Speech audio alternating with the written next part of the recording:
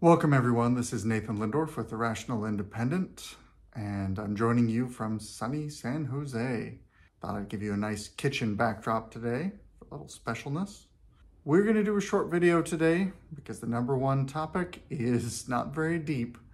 It is from the Daily Beast, subtitled Bad Blood.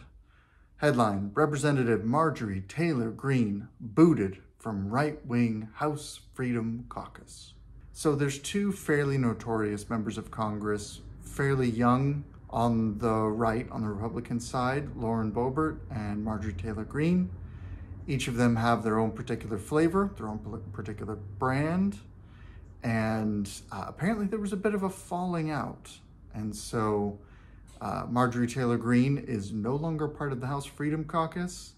I guess she uh, cussed out Lauren Boebert, and then interestingly enough, Lauren Boebert actually defended her comments and said that that is something she should be free to say based on free speech.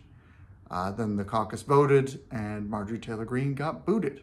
I guess this is uh, popcorn viewing for the readers on Reddit. Lots and lots of votes, lots and lots of traction, not a lot of substance. Um, that being said, while I do like Marjorie Taylor Greene from what little I've seen of her, I have noticed this year some evidence that she might be starting to get pulled into the Republican machine.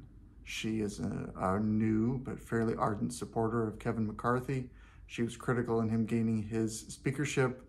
She supported the debt limit bill that got uh, uh, pushed through when there was a, a, you know a showdown over the debt spending debt ceiling limit. Maybe we'll get a chance to cover something with a little more substance tomorrow. We'll see.